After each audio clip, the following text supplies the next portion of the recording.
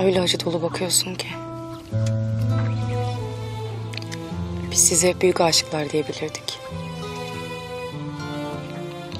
Herkes sizinki gibi bir aşk için dua ederdi. Okulun en mutlu çiftiydiniz. Mutluyduk. Ama ailemin Zeynep'e karşı çıkması çok canımızı acıttı sonra.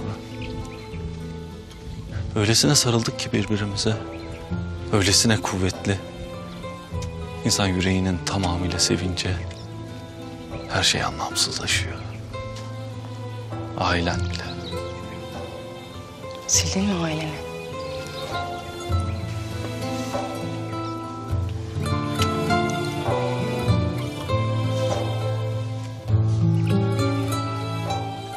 Benim ailem Zeynep olmuştu. Yalnızca ailem mi? Arkadaşım, sırdaşım, dostum. Kızım. Kardeşim. Sevgilim.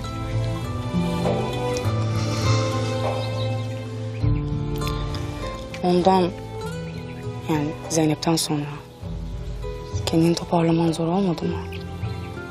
Neler yaptın? Gezdim. İki yıl boyunca dünyayı dolaşıp durdum.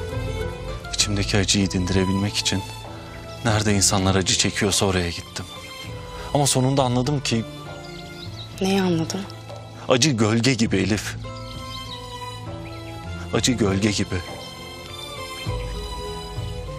İnsan nereye kaçarsa kaçsın, gölgesi de arkasından geliyor. Unutmak için ne kadar kaçarsan kaç, kendinden kaçamıyorsun. Sonra ne yaptın? Nasıl kurtuldun içindeki bu acıdan? Döndüm. Acı hatıralara döndüm. Sokaklara, topraklara. Kendime döndüm.